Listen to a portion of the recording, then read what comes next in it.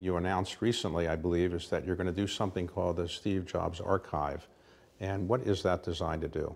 It's, um, it's under construction in a certain way. It is evolving, I will say.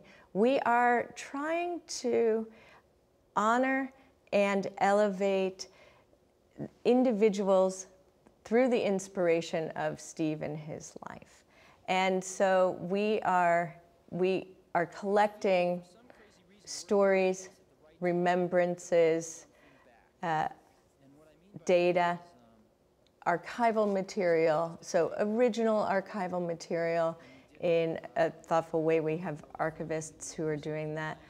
But I think much more importantly, we are trying to find the best way to communicate to others his ethos and his sense of enormous human possibility so that people can encounter the archive and feel inspired to do something even greater in their own lives or to stretch what they think is a, a boundary or, or something that they didn't contemplate for themselves.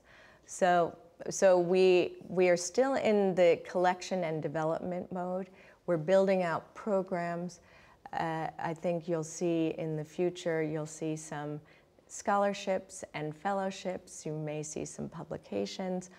But it's, it's much more about forward looking and inspiring people to think about how they can be part of positive movement.